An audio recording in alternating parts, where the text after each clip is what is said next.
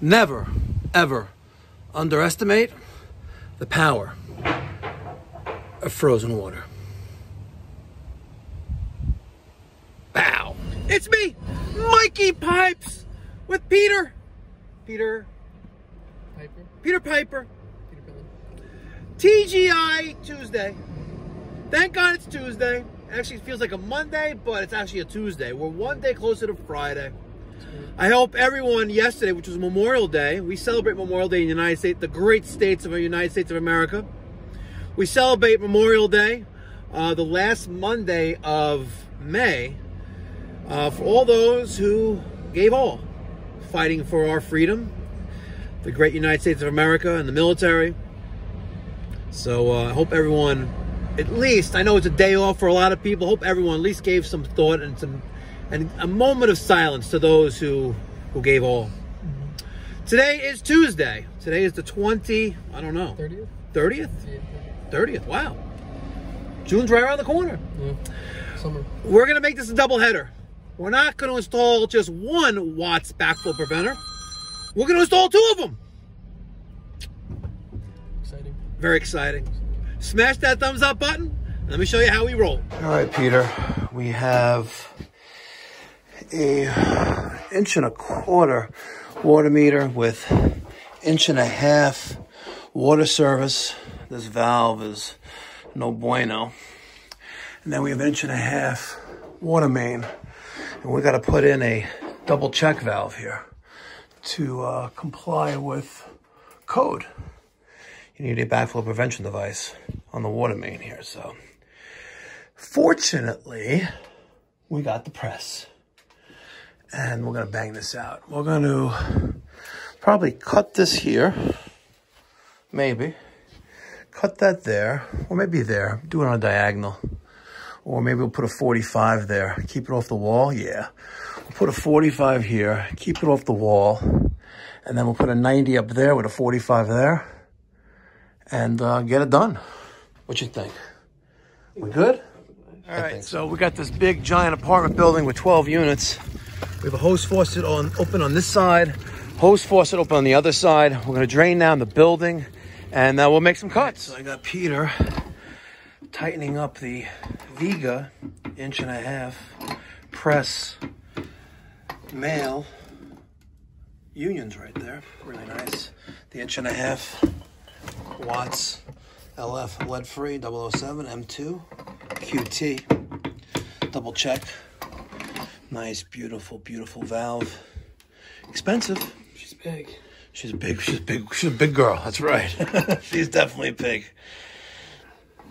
What did we put in the food store? Is that two inch? The supermarket? Yeah, Yeah, it was a two inch. Yeah. Yeah, that was a big beast too, a wilder beast. There you go, nice and tight. And as you notice, he's tightening the union, right? So when he's tightening the union, he's not, he's not, not only making the union tight, but also he's pushing in the uh, the inch and a half male side of that union into the female threads. Okay, don't go crazy, okay? We don't want to uh, split that valve. Split that valve. Fudged. Very nice. So game plan is still the same.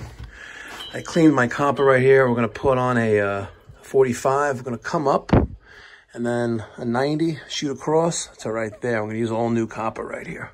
It's gonna look really, really nice. And uh, I guess I could have used an inch and a inch and a quarter, but an inch and a half there already. I'm not gonna size down, so it makes no sense. But we do have that one inch restriction here and there, but we have plenty of volume coming in. A lot of volume coming into this bad boy. That's that's copper. That's K copper right there. Okay. Okay, you know you have for for copper tubing you have L, which is for pressure. You know M, which we use for hydronic purposes, and we have K, which is surface weight underground. Yep. All right, so we're gonna cut and get Joe on the road. A couple more presses left.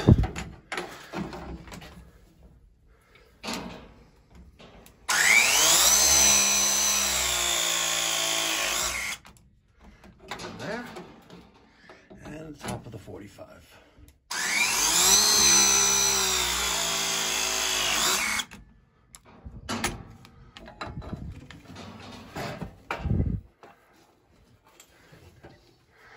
That's all, folks. Test port one, two, three, and four are all closed. Let's slowly turn on the water. I didn't get that. Could you try again? Which way are we going? I think it's Yep, it's up it is. Interesting question. Siri. Siri.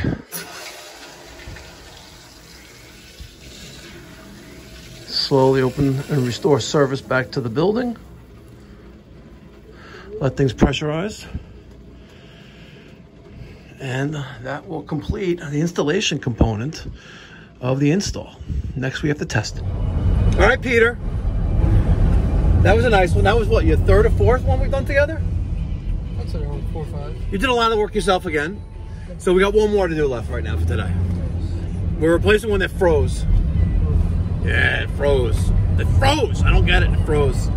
This is going. We're going to a Watts half inch. We're taking out a Febco, and we're putting in a Watts three quarter inch lead free uh, double check for an irrigation system. So off to the next. you don't remember this job? I don't. Look at the sticker. Remember the sticker? Okay, how about this? Remember this? Remember that nice, beautiful boiler? No, I I don't. Yeah. I don't think Someone actually recently commented on this. We did this a few several months ago. Well, actually, let's look and let's see where we did it. We did it on March 16th, 23. New install, right? Someone actually just recently commented, where's the backflow preventer? It's right here, you effing moron. um, there's the boiler. Nice. Everything came in. Look at this. Look at this. This is beautiful work. Beautiful work. This is the Weil-McLain. In case, guys, in case you don't know, this is the Weil-McLain CGA 5, uh, 140,000 BTU gas fired boiler. This is set up for three zones. My company, Pipe Doctor, with Peter and Daniel, um, we installed this. And it really, really, really came out nice. Um, but we're not here for this. We're here for. Now I know why. Now I know why Peter didn't recall doing this job because Peter was with that loser, Frankie, in Nashville, Tennessee. And that loser, Frankie, by the way, had the balls to appeal his unemployment insurance denial, right, for falling asleep in class. And his reason is, is that my employer knew that the activities I was doing made me feel ill. Can you believe this degenerate loser, Frankie? He got fired for sleeping in class with a major client of mine, embarrassing me and my company, and then he has the balls to appeal the denial that he was sleeping in class that oh no my employer knew that what i was doing the night before drinking myself shit faced um, that i knew about that and that makes it okay. Ugh. A loser. Back to the video. Bow. I was wrong. It's an apollo. This is an apollo three quarter inch double check valve. We have right off of our water main which oh, it sucks. Wish there was a valve right here. But there's a valve there so we'll turn off the water here right? We'll, we'll close that. We'll drain that outside. as a hose faucet outside. Make sure we open that up right out there. And it froze. Look, let's see if I can show you.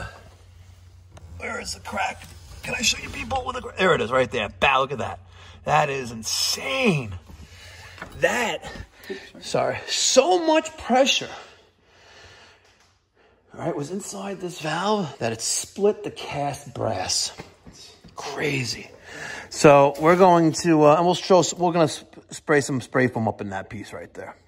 So we're going to, uh, we'll cut here and we'll cut there and we'll throw a new valve in. Ready? With the Watts. Not a sponsor of the channel, but they did reach out saying one of the executive vice presidents of the channel, of the, of the, of, the, of their corporation watched my video and they, they think I'm great. Yeah. But I'm far from great. Only God is great. Ain't that right? It's true. True. Only God is great.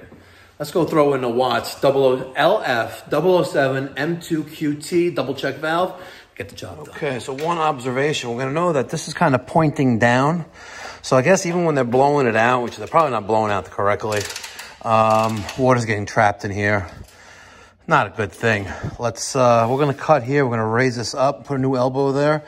And the objective is to try to spin that out of here and maybe keep that fitting there. So let's see what we can do.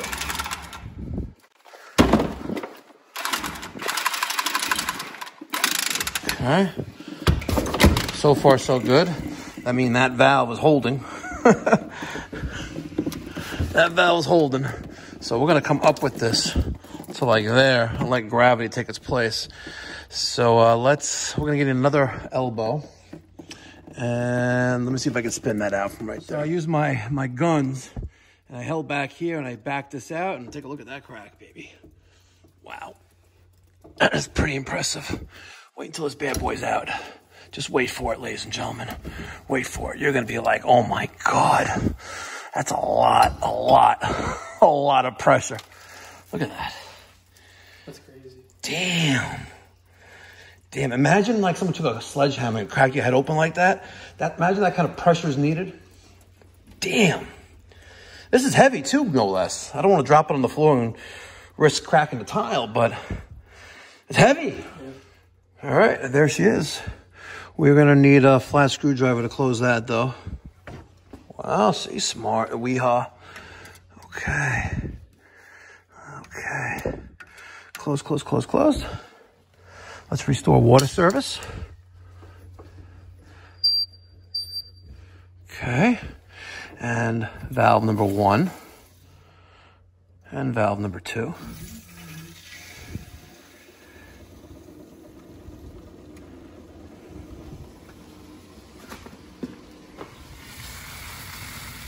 Mm. Let's open up this and flush out from there.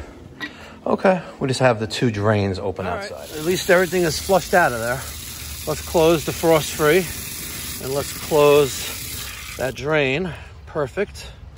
Excellent. And remember, you need backflow compliance in the state of New York, in the Long Island Valley Stream area? Call me 516 348 6300. We work on residential and commercial backflow valves, whether it's double check valve or reduced pressure zone. Mikey Pipes got you back. 516 348 6300. Or email me, mike at pipedoc.net.